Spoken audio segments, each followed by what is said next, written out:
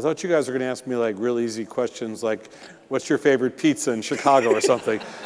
You're asking me delta to delta to theta ratio, right?